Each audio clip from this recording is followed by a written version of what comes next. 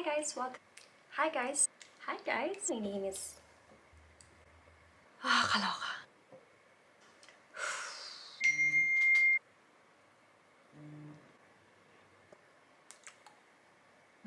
Wait lang. It's... I think it's okay na. Okay.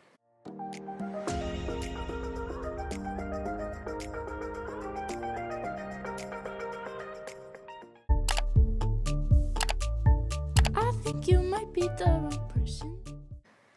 Hi guys, welcome to my channel. My name is Cree and for today's video we're going to do a unboxing of a very special bag. It's a small bag actually but it's very special and close to my heart kasi the story behind this bag is super nakakaloka. So let's start.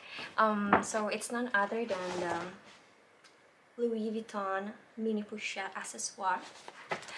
Malaki yung paper bag pero actually maliit lang siya. Ayaw makuha. Akala ko may freebies pero ID card lang siya. The receipt. Sak, ay, dito pala siya para medyo maganda yung background natin. It recalls kung ano yung pinag-uusapan natin. Maganda ba siya din? No? Okay. So, eto na nga siya. Super liit lang niya. Ito yung face ko. And super cute. Um, so, let's start unboxing it. Parang ayaw kong buksan. Sisira. Paano ba yung pagre-ribbon nito pabalik? So, super happy. Hindi ganito yung reaction ko when I got my other LVs. Parang hindi ako ganitong ka-happy. Never ako nag-unbox. Maybe because nga kasi sobra akong nahirapan to get this. That's why it's worth doing the unboxing video. So, here we go. Okay, so, let's start. Okay, let's start with the ribbon. My gosh, dapat isang take lang to. Kasi hindi ko alam talaga kung paano ibabalik yung ribbon niya. And... Okay, so, dun, dun, dun, dun. Ah, hinihila pala siya dito. Okay, so, here it is. Ba yan? So, here it is. Tapos nahulog, no? Ang gaan niya kasi ang liit lang. Dun, dun, dun, dun. Are you ready?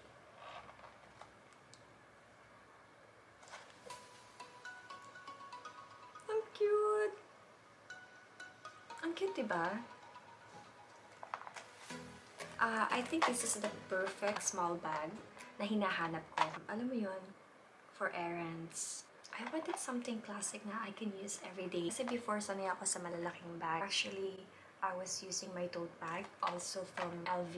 Kasi I have a toddler, I put all the baby stuff there. Mga pampers and uh, yung mga milk niya. So, para isang sakbita na lang. And since malaki na siya, meron na siyang sariling bag niya. Since last year, 2020, my love for small bags grew. And I was really eyeing for this bag. It wasn't available. Siguro mga almost one year ako naghintay.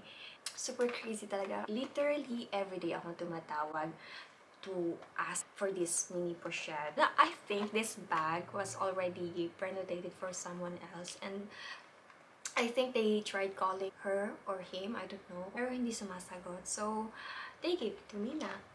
I'm so super happy. Ito yung closer look niya.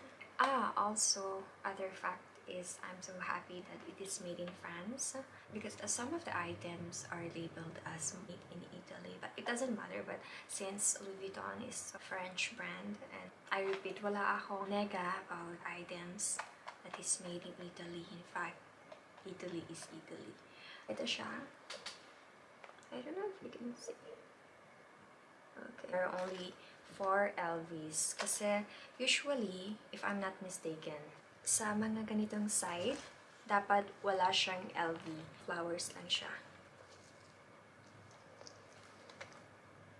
So, now let's see what we can put inside. Kasi nga, maliit lang siya. And ginusto ko to. So, obviously may wallet. Hindi siya magkakasya kasi halos magka-size lang siya.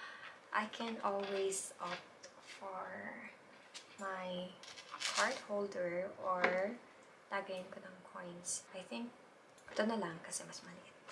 obviously it fits. Second one is my keys.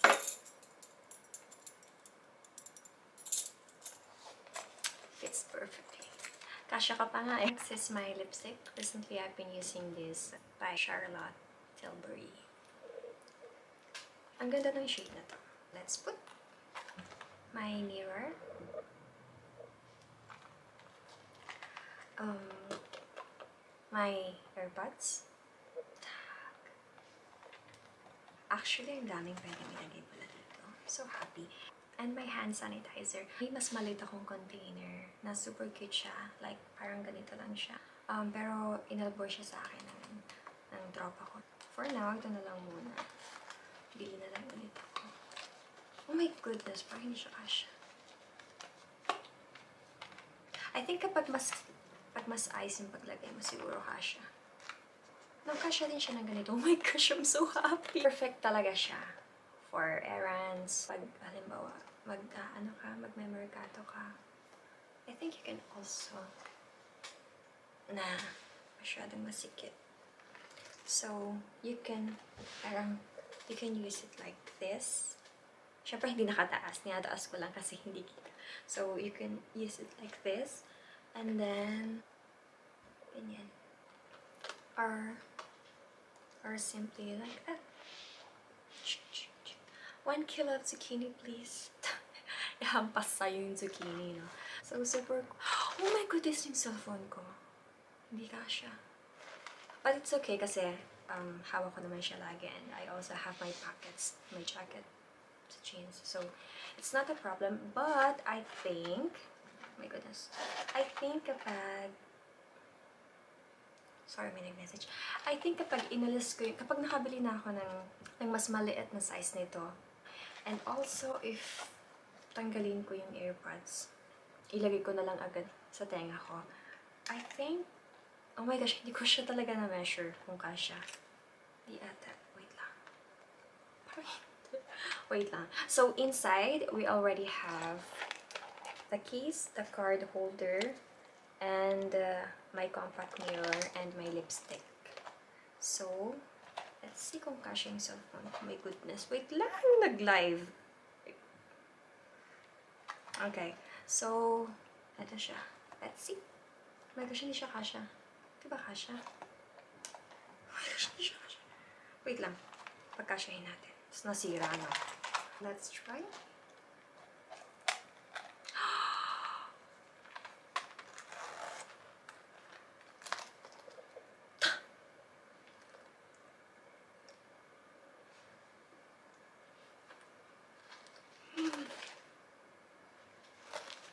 Ang perfect niya.